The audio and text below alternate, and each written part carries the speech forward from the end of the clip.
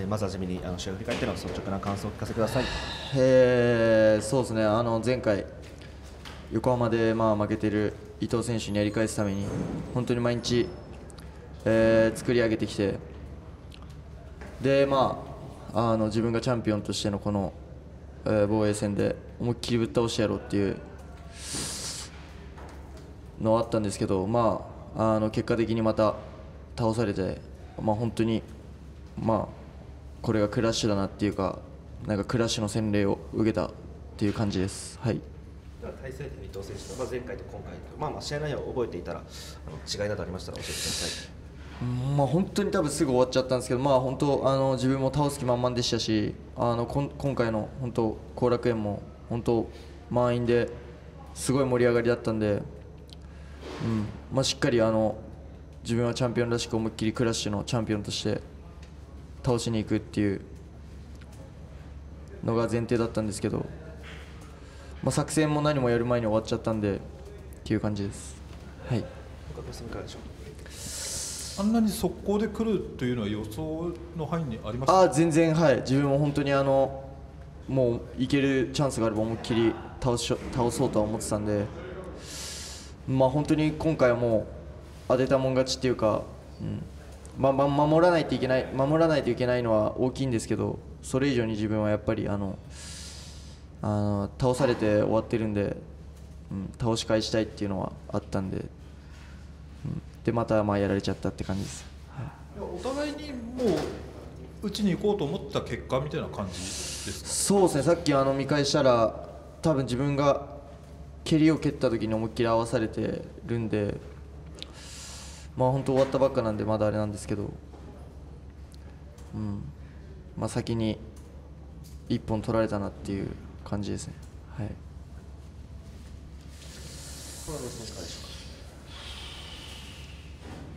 はい、それでは最後にあの今後についてと、はい、とあのファンの皆様にメッセージをお願いいたします。えー、そうですね、本当たくさんの人にサポートもしてもらって、えー、たくさんのファンの方に応援してもらって、えー、今日もあのすごい歓声の中で試合をすることができました。あのうんまあ、本当これがなんか、うんまあ、自分らしいっていうか自分らしいんですけど本当にあの倒すか倒されるかで自分はやってるんで。うんあまあそうですね何もあの自分の得意なこともやる前に終わっちゃってるんで悔しいんですけど、うん、またちょっと考えて前を向きたいと思ってます。本当にありがとうございました。はい、えー、それでは伊藤健人選手のインタビューを始めさせていただきます、えー、まずはじめに試合を振り返っての率直な感想をお聞かせください。えー、最高です。その一言に尽きるのと本当に10年間の感謝をやっと応援団の皆様に伝えられたのとあとは本当何より太田先生に一つ形として返せたのでまだまだ足りないんですけど、まあ、一つ本当に形として太田先生にベルトを持ってこれたのが本当に嬉しいですね。はいおめでとうございます。ありがとうございます。あれだけの速攻はもともとイメージしたんですか？試合展開については本当に正直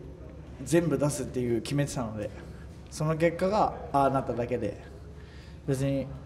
どの展開になっても僕は全部を出し切るって決めてたので試合がそうなっただけではい。当たって、えー、里見選手が倒れた瞬間どう何を感じました？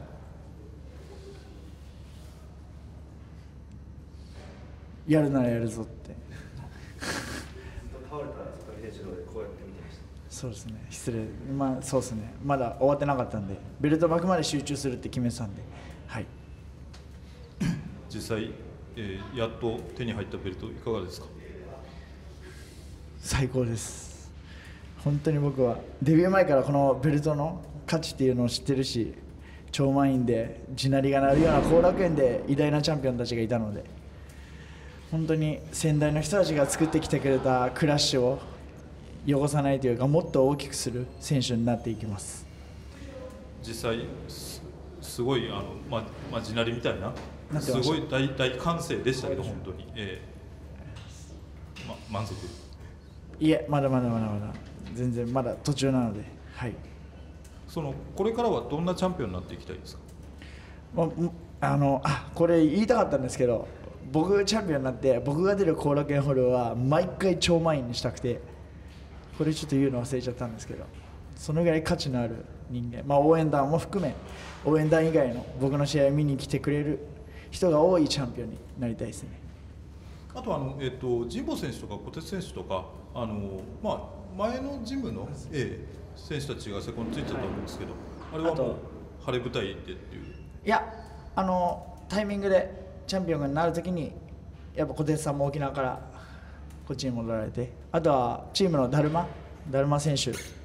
も一緒にセコンドにいたのでこのメンバーでチャンピオンになるっていうのはもう決めてたので、はい、他にもチーム川北コング構成とチャイエンリックもいるんですけどみんなで取るって決めてました、はい、ありがとうございます。あの右ストレートなんですけどあのフィニッシュの前にも1回結構いいタイミングで入ってたと思うんですがこうどういうような感じで打ってたって覚えてます？えー今試合を振り返っても正直覚えてなくてすいません。そうなんです。いつもなんか興奮しちゃうと飛んじゃうんですけど倒れてる瞬間と太田先生が来てくれて抱き合ってる瞬間だけは記憶あります。はい。そうですね。あと試合中の向き合った感じとそれぐらいしか覚えてないですね。じゃあ、えっと、こうタイミングを読んで打ったという感じでもない？もういやなんかもうやることは全部練習してきてたので意識しなくても出る。それがまあセコンドの声もしっかりもうずっとそれしかやってきてないんでそれしか出ない状態になってるんで。そうですね。多分映像で見たら分かると思うんですけど多分やってることはそのまま出ただけで。はい。本当皆さんのおかげですはいあの伊藤選手といったらその右ストレートなんですけどその右ストレートはなんでそんなに強いんですか？はい。その右ストレートはなんでそんなに強いんですか？みんなの思いが詰まってるんで僕だけじゃなくて思いもあの思うじゃなくてあっちの思いです。あの感じ。心が入ってる思いの方で。はいお願いします。両方入ってですけどあの想像の想の方。想像の想 そうだね。あそうですね。そうですね。そうですね。そうです。そうです。そっちの思いです。わかりましたありがとうございます。小川質問いかがでしょうか？それでは最後にファンの皆様にメッセージお願いします。えー本当に僕10年やってきて本当に勝ったり負けたりなんですけどここまでこうしてチャンピオンベルトを肩に掲げて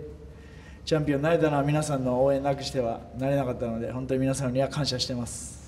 ありがとうございます。まだまだこれは通過点でここからもっと